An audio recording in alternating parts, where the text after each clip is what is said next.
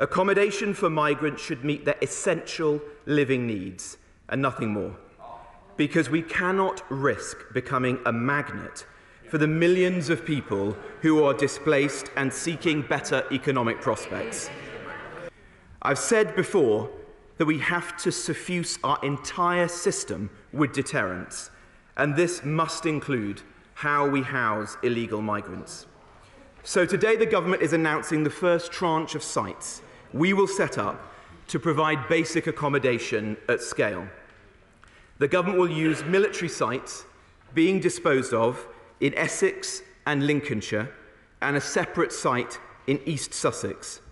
These will be scaled up over the coming months and will collectively provide accommodation to several thousand asylum seekers through repurposed, repurposed barrack blocks and Portakabins. These sites on their own will not end the use of hotels overnight. But alongside local dispersal and other forms of accommodation, which we will bring forward in due course, they will relieve pressure on our communities and they will manage asylum seekers in a more appropriate and cost effective way. Madam Deputy Speaker, today's statement is an admission of failure. Yeah. Maybe that's why the Home Secretary has asked the Immigration Minister to make it yeah. instead.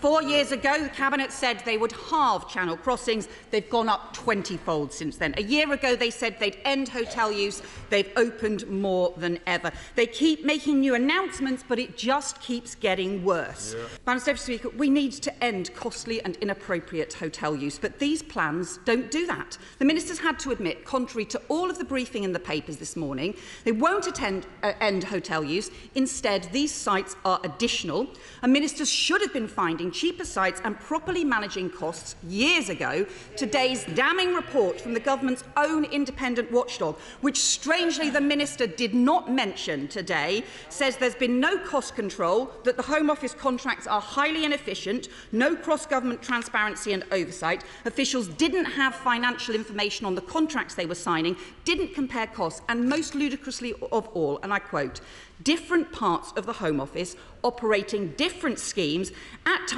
found themselves competing for the same hotel contracts, driving prices up.